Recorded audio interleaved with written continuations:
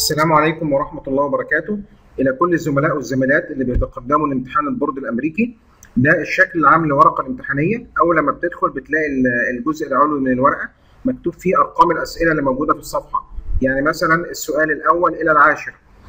الجزء الشمال موجود فيه جدول بأرقام الأسئلة. طبعا هي نفس الأرقام اللي مكتوبة فوق نفس ال range بس مفصل. يعني رقم السؤال رقم واحد السؤال رقم اثنين أهمية الجدول اللي على الشمال ده إن أنت ممكن تنتقل مباشرة للسؤال لسؤال من الأسئلة من غير ترتيب. يعني ممكن تختار السؤال العاشر تروح له على طول أو السؤال الثامن. طبعا الجزء الوسط الأوسط من من الورقة بيكون فيه الأسئلة كل سؤال وتحته الأربع خيارات. لو في سؤال منهم عايزين نأجله لآخر الامتحان أو نأجله شوية نفكر فيه بعد كده بنعمل له كلمة flag ال flag دي كلمة flag مكتوبة تحت في البار السفلية من الورقة.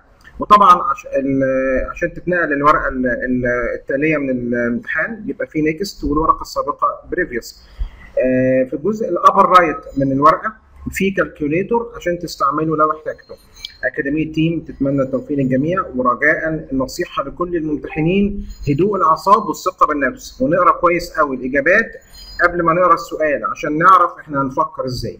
كل التوفيق والنجاح للجميع إن شاء الله. السلام عليكم ورحمة الله وبركاته.